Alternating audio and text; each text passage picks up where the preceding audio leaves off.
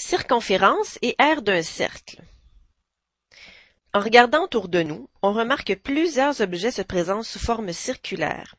Il est donc très utile de savoir effectuer des calculs sur le cercle. Par exemple, lors de l'installation d'une piscine hors terre, des calculs doivent être effectués préalablement à l'installation de la piscine.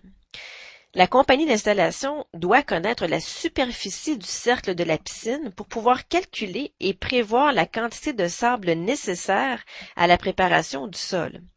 La compagnie doit également calculer la mesure du contour du cercle pour préparer et couper la longueur exacte de mur de piscine dont les installateurs auront besoin. Eh bien, c'est ce que nous allons voir dans cette capsule. Nous verrons comment calculer la circonférence d'un cercle, qui est la mesure de son contour, et également comment calculer l'aire d'un cercle. Tout au long de la capsule, nous consulterons et compléterons notre résumé. Alors, si vous ne l'avez pas déjà en main, je vous invite à aller le chercher pour pouvoir y ajouter des informations. Section 1. Circonférence d'un cercle. Qu'est-ce que la circonférence d'un cercle? Eh bien, comme nous avons mentionné dans l'introduction, la circonférence d'un cercle, c'est tout simplement la longueur de son contour. C'est en d'autres mots son périmètre, mais pour le cercle, nous avons un terme particulier pour le désigner, c'est le mot circonférence. Alors par exemple, si l'on voulait calculer la circonférence d'un DVD, eh bien on ferait ceci. On utiliserait un ruban à mesurer et on mesurerait le tour du DVD. Ici, on voit que la circonférence est d'environ 37,9 cm. Or, mesurer le contour d'un objet circulaire à l'aide d'un ruban à mesurer n'est pas toujours très pratique. Il serait donc intéressant de trouver une formule qui nous permettrait de calculer la mesure de la circonférence, connaissant la mesure de son diamètre ou de son rayon, par exemple. Pour découvrir cette formule ensemble, faisons la petite expérience suivante. Si l'on divisait la circonférence du cercle, qui est ici de 37,9 cm environ, par la mesure du diamètre, qui est ici de 12 cm, eh bien, on obtiendrait le rapport suivant, 37,9 divisé par 12, qui donnerait 3,1583 environ. Alors pourquoi je vous explique ceci, c'est que si vous répétez cette même expérience avec d'autres objets circulaires dans votre maison, eh bien vous allez vous rendre compte que lorsque vous allez diviser la circonférence par le diamètre, eh bien ça va toujours donner un rapport qui se rapproche de la valeur suivante 3,1416. Tentez l'expérience par vous-même. Vous allez voir que le rapport donne toujours une valeur qui tourne autour de 3,1416. Alors, en théorie, le rapport entre la circonférence et le diamètre est de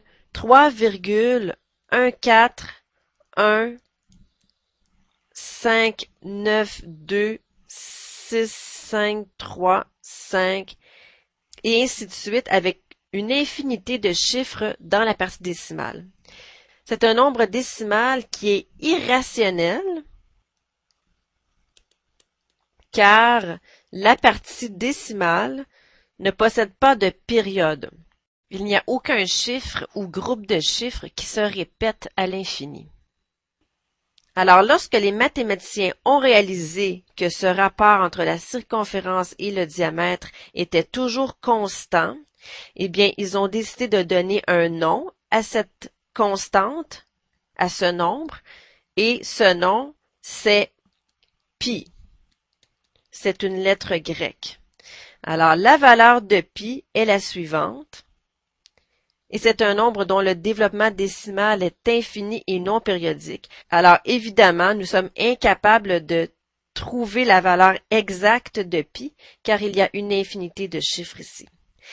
Si vous possédez une calculatrice scientifique, vous avez sûrement un bouton sur votre calculatrice qui vous donne la valeur de pi. Cherchez ceci, et si vous appuyez sur le bouton, et appuyez ensuite sur Entrée si nécessaire, eh bien, vous devriez voir apparaître la valeur de pi à l'écran de votre calculatrice. Si vous avez une calculatrice scientifique, je vous encourage à utiliser ce bouton qui contient beaucoup de décimales de la valeur de pi. Si vous n'avez pas de calculatrice scientifique, vous pouvez entrer tout simplement la valeur de pi à l'écran. Et dans ce cas, utilisez la valeur suivante, 3,1416, qui est une bonne approximation de la valeur de pi. Dans les exercices de cette capsule, je vais utiliser la valeur de pi qui est sur la calculatrice scientifique. Alors revenons maintenant à la façon de calculer cette circonférence.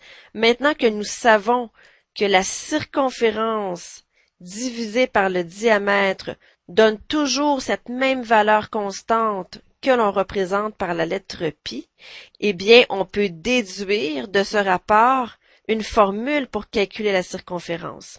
Donc, si l'on isole le C ici, eh bien, en appliquant le produit croisé, on obtiendrait 1 fois C, une fois la circonférence, est égal à pi fois le diamètre.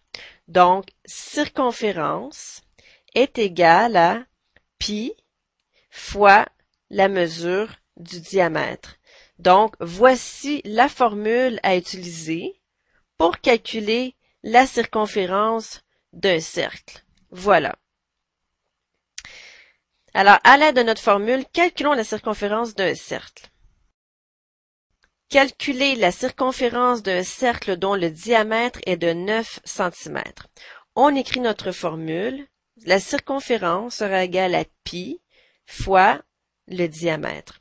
Ici, la mesure du diamètre est de 9. Donc, pi fois 9. On prend la calculatrice. On appuie sur le bouton pi et on continue en multipliant par 9.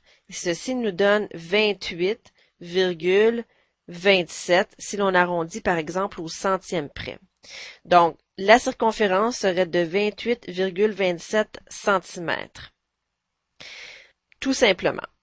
Maintenant, si l'on veut calculer la circonférence d'un cercle dont le rayon est de 4 mètres, eh bien, on ne peut pas appliquer directement cette formule parce que nous ne connaissons pas la valeur de D ici, la valeur du diamètre. On nous donne la valeur du rayon. Alors, vous avez deux possibilités.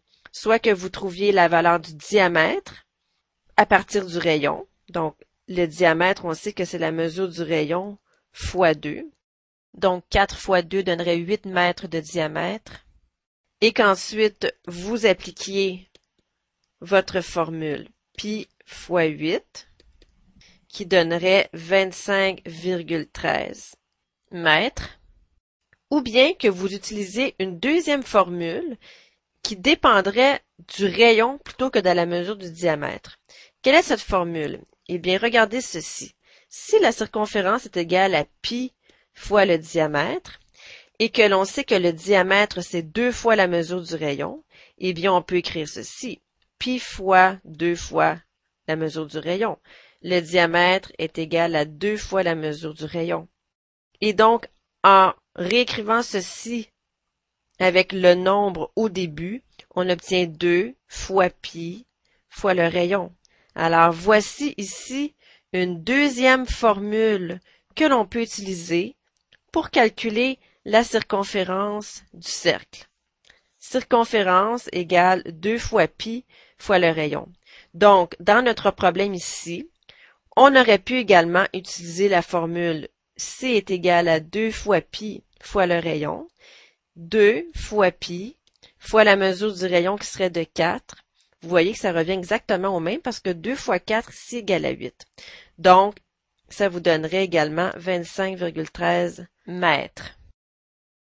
Alors, voici les deux formules que vous pouvez utiliser pour calculer la circonférence d'un cercle. Voilà. Alors, inscrivez tout de suite cette formule sur votre résumé. La circonférence, c'est la longueur du contour et ça se calcule à l'aide de l'une ou l'autre des deux formules suivantes. Mettez la vidéo en mode pause pour transcrire ceci. Je vous invite ensuite à faire un petit exercice. Exercice 1. On veut apposer une bordure de métal sur le rebord d'une piscine circulaire qui possède un rayon de 4,3 mètres. Dessinez le cercle représentant cette piscine en utilisant l'échelle 1 cm correspond à 1 mètre et calculez ensuite la longueur de la bordure requise. Arrondissez au millième près. Je vous laisse faire ceci, mettez le vidéo en mode pause et je reviens ensuite avec la solution. Solution de l'exercice 1. Voici le cercle à dessiner. Le rayon doit mesurer sur votre feuille 4,3 cm. Et voici le calcul de la circonférence. On nous donnait ici comme information la mesure du rayon. Alors, il était plus adéquat d'utiliser la formule C égale 2 pi r. En remplaçant le R par sa valeur, 4,3, on obtenait ici, en arrondissant au millième près, 27,018 mètres. Voilà, c'est la longueur de la bordure. Passons maintenant à la section 2, l'aire d'un cercle. Alors, rappelez-vous bien que l'aire, c'est la mesure de la superficie du cercle, c'est-à-dire l'intérieur du cercle. Comme on a vu dans l'introduction, lorsqu'on installe une piscine, par exemple, eh bien, il faut connaître la superficie ou l'aire d'un cercle pour pouvoir calculer la quantité de sable à étendre sur la superficie du cercle. C'est la même chose pour la pose de la toile ou la fabrication de la toile. On doit calculer l'aire du cercle. Alors, l'aire d'un cercle, c'est la mesure de la superficie du cercle. Quelle est la formule nous permettant de calculer la superficie d'un cercle? Eh bien, c'est la suivante. Pi multiplié par le rayon au carré. Notez bien qu'ici, le 2, qui est le carré, ne s'applique qu'au rayon, c'est-à-dire qu'on multiplie la valeur de pi par la valeur du rayon au carré. Vous pouvez utiliser comme valeur de pi 3,1416 si vous n'avez pas de calculatrice scientifique. Alors, regardons tout de suite comment calculer la superficie de ce cercle. On applique notre formule R du cercle est égal à pi fois le rayon au carré. Donc, sera égal à la valeur de pi fois, quelle est la mesure du rayon ici? Il est de 4. Je vous encourage ici à placer une parenthèse pour bien montrer que ce n'est que le 4 qui est au carré et non pas le pi ici. Lorsque vous allez poursuivre le calcul, vous allez donner priorité ici à l'exposant. Donc, vous allez calculer le 16 d'abord et ici, on a toujours pi. Donc, pi fois 16 nous donne 50,27 si l'on arrondit au centième près. Et puisque l'on a des centimètres ici comme mesure, n'oubliez pas ici que puisque nous calculons une aire, donc une superficie, eh bien, les unités de mesure seront des centimètres carrés. C'est comme si l'on calculait le nombre de petits carrés de 1 cm par 1 cm que l'on peut entrer dans ce cercle. Voilà. Alors, c'est la formule à utiliser pour le cercle. On n'utilise qu'une seule formule pour calculer l'aire d'un cercle. Calculons maintenant l'aire de ce cercle. On a comme information que le diamètre mesure 7 mètres. Alors, la formule nous dit que l'aire du cercle se calcule en multipliant pi par la valeur du rayon mis au carré. On doit donc connaître la valeur du rayon ici pour appliquer notre formule. Si on ne connaît pas la valeur du rayon, on ne peut pas appliquer la formule. Alors, ici, on connaît la valeur du diamètre. On ne connaît pas la valeur du rayon. Il faut donc trouver la valeur du rayon pour pouvoir l'inclure dans la formule. Donc, à partir du diamètre, on peut calculer la valeur du rayon en divisant le diamètre par 2. 7 divisé par 2 donne la valeur du rayon ce qui nous donnera 3,5 comme valeur de rayon. Maintenant que l'on a la valeur du rayon, on peut utiliser notre formule ici. Ceci nous donnera pi fois et la valeur du rayon au carré, 3,5 au carré. Sur votre calculatrice, commencez par calculer la valeur du carré.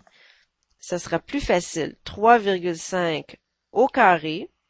Vous avez probablement le petit bouton sur votre calculatrice x au carré ou y au carré que vous pouvez utiliser, ou bien vous pouvez inscrire 3,5 fois 3,5, ce qui donne la même chose, 12,25, toujours fois la valeur de pi. Ceci nous donne, en arrondissant au centième près, 38,48. Et ce sont ici attention, des mètres carrés, parce qu'on calcule l'air. Voilà.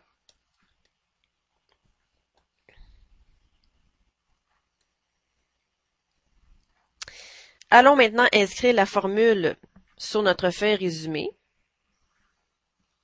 L'air, c'est la mesure de la surface et la formule est donnée par pi fois le rayon au carré.